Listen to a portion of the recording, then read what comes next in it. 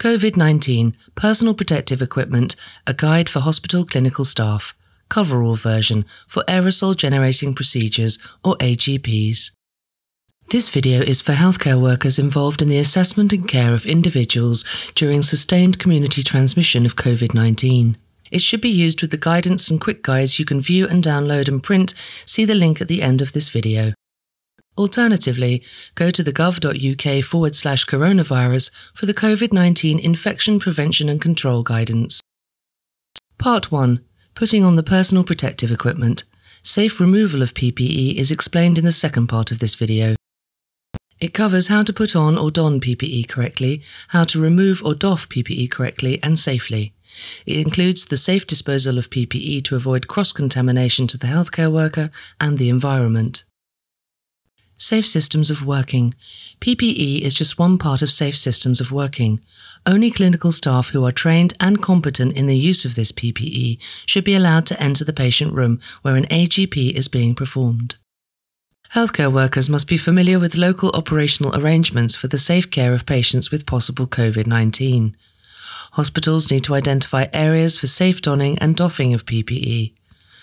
Safe systems of working, including the correct use of PPE, will help protect you and others and limit the spread of infection. Keep your hands away from your face and the PPE being worn. Change your gloves regularly when torn or heavily contaminated. Limit surfaces touched in the patient environment. Perform hand hygiene regularly. Always clean your hands after removing your gloves. Pre donning instructions. Ensure the healthcare worker is hydrated. Tie hair back. Remove jewellery. Check your PPE is in the correct size and available. Note Local teams need to undertake a risk assessment to clarify donning and doffing using the type of PPE available.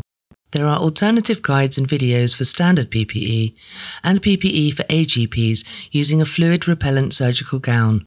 Visit the gov.uk infection prevention and control pages to see these in detail. The recommended PPE components for when an AGP is being performed are coverall, alcohol hand rub, gloves in the correct size, visor or goggles or eye protection, respirator or suitable respiratory protection. Aprons over the coverall may also be used for sessional use. Putting on personal protective equipment. The correct order for putting on is coverall, respirator, eye protection, and then gloves. This is undertaken outside the patient's room. Step 1. Don or put on the coveralls. You may need to remove your shoes. Note, if the coveralls have elasticated ankle cuffs, you may wish to cut the elastic off to make donning and doffing easier. First, unfold the coverall and undo the central zip. You then need to insert both of your legs into the coveralls.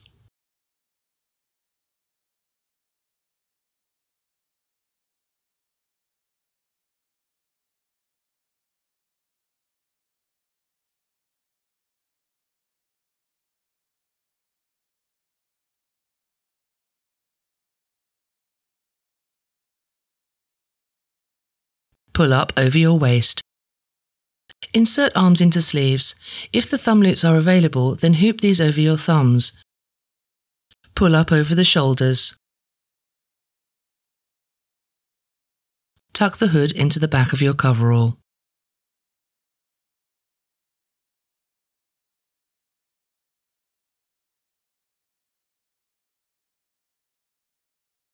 And then fasten the zip up to 5 centimeters below your neck.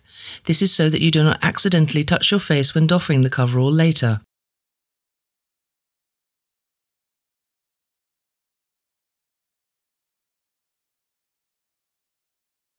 If glasses are worn, remove them and do not put them back on until you have fitted your respirator. Glasses should be cleaned with an alcohol lens wipe. Now clean your hands with alcohol hand gel or rub. Step 2 donning or putting on your respirator. This must be the respirator that you have been fit tested to use. Note, eye protection must always be worn with a respirator. Where goggles or safety spectacles are to be worn with the respirator, these must be worn during the fit test to ensure compatibility.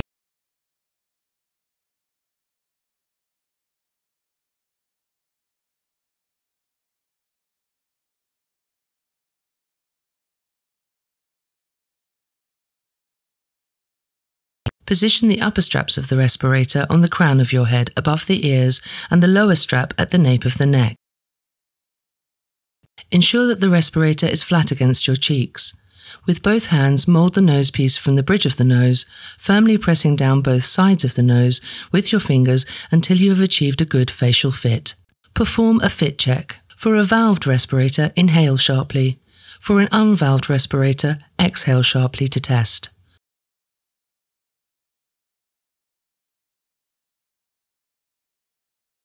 If air flows around the nose, adjust the nose piece. If air flows around the edges, readjust the headbands. If you cannot obtain a good fit, do not proceed to enter the patient area. The technique for fit checking will differ between different makes of respirator. Instructions for the correct technique are provided by manufacturers and should be followed for fit checking. Next, replace your glasses if worn, ensuring that they do not affect the fit of the respirator. Step 3. Don your eye protection. A visor is recommended. If not available, use goggles or a reusable eye protection. Safety goggles may also be used as shown earlier in the video. Place over your face and eyes and adjust the headband to fit so that the visor is vertical covering the sides of the eyes. For other forms of eye protection, ensure that they do not compromise the fit of the respirator. Optional step. Put on your apron if needed. An apron is only needed in addition to a coverall or fluid repellent surgical gown if you're doing sessional work. If you are not doing sessional work, continue to step 4. If you are doing sessional work such as a ward round and there is an AGP risk for the entire bay or hot zone, you must wear a fluid repellent surgical gown or coverall along with an apron worn over the top. The apron and gloves must be changed for each patient seen, but the same gown or coverall can be used for several patients.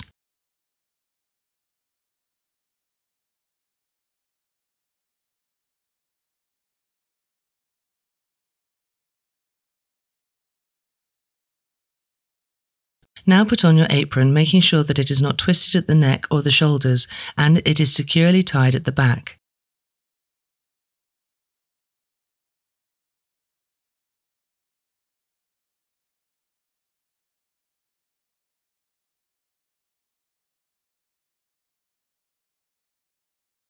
Now clean your hands with alcohol hand gel or rub.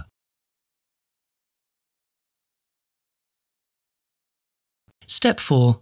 Put on your gloves. Make sure that these are the correct size for your hands.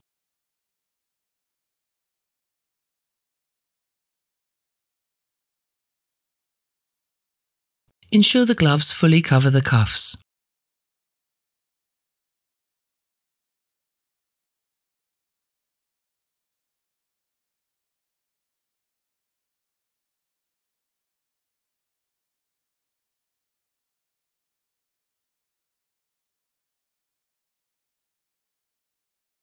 Once you are happy that all the steps have been completed correctly, you have now completed putting on your PPE and you are now ready to enter the patient area. You can doff your apron and gloves in between patients, perform hand hygiene, and then apply a new apron and new gloves before seeing the next patient. After entering the patient area, remain vigilant of PPE integrity for yourself and any other staff members. Part 2 Doffing or taking off the personal protective equipment.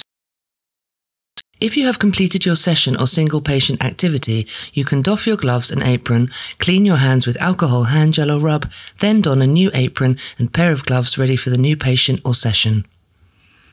If you have completed your session and you are taking a break, you can continue to doff the full ensemble. PPE should be removed in an order that minimizes the potential for cross contamination. So, remove your gloves first, then apron if needed, then gown or coverall, and then your eye protection, followed by your respirator. The FFP2 or FFP3 respirator must always be removed outside the patient's room, where possible in a dedicated isolation room with anteroom or at least two meters away from the patient area. In the absence of an anteroom or lobby, remove your FFP2 or 3 respirator in a safe area, e.g., outside the isolation room. Step 1. Remove your gloves. Do not touch the outside, as these may be contaminated. Grasp the outside of the glove above the cuff and peel off, holding the removed glove in the remaining gloved hand. Slide the fingers of the ungloved hand under the remaining glove at the wrist and then peel the remaining glove over the first glove. Do not touch the outside as this will be contaminated. Discard as infectious clinical waste. Now clean your hands with alcohol hand gel or rub. Step 2. Remove your disposable apron if worn. Do not touch the outside as this may be contaminated. Unfasten or break the apron ties at the neck and let the apron fold down on itself. Break the ties at the waist and fold the apron in half and then gently roll up as shown. Do not touch the outside as this will be contaminated. Discard as infectious clinical waste.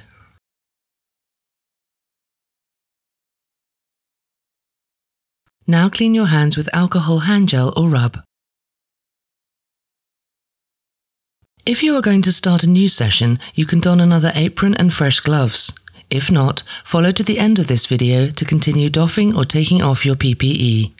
Step 3. Remove the coverall. This should be done from top to bottom. Tilt your head back and gently feel for the zip and with one hand pull the coveralls away from your body. With your other hand, run your hand up the zip until you reach the top and unzip the coveralls completely without touching any skin, clothes, or uniform, following the guidance of your buddy if available. If not, a full length mirror is helpful. Roll the coverall from the waist down and from the inside of the coverall down to the legs, past the knees to the top of the shoes, taking care to only touch the inside of the coveralls.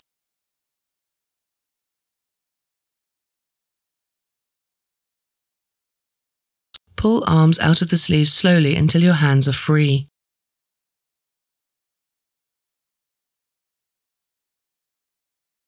Use one shoe covered foot to pull off the coverall from the other leg and repeat for the second leg.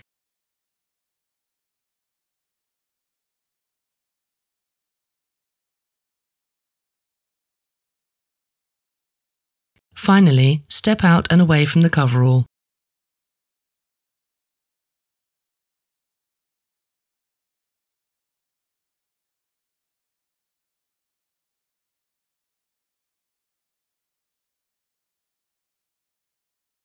Now clean your hands with alcohol hand gel or rub. Put on a clean pair of gloves. This is in case you have inadvertently touched the outside of the coveralls.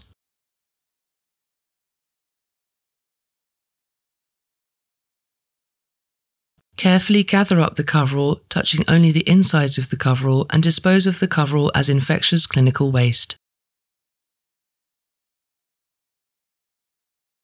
Step 4. Remove your eye protection. Do not touch the outside as this may be contaminated. Dispose of the fresh pair of gloves as an infectious clinical waste.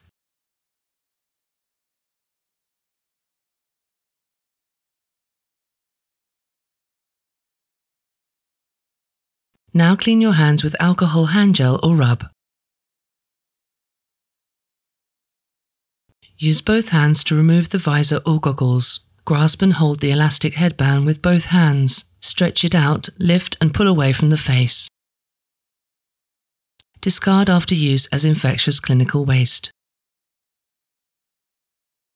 Step 5. Remove your respirator. Do not touch the front as it may be contaminated. In the absence of an anteroom or lobby, remove your FFP2 or 3 respirator in a safe area, e.g., outside the isolation room or patient area. Now clean your hands with alcohol hand gel or rub.